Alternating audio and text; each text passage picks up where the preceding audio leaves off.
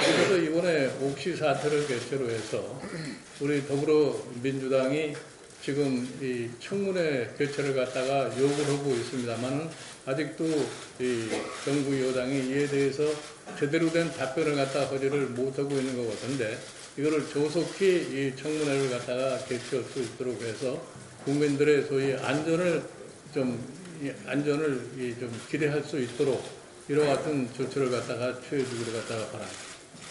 정진석 새누리당 원내대표께서 가습기 살균 문제 피해 문제에 대해서 적극적으로 임하겠다라고 말씀하셨는데 실상 어제 각 상임위에서는 이 관련된 법제도 개정이 무산됐습니다.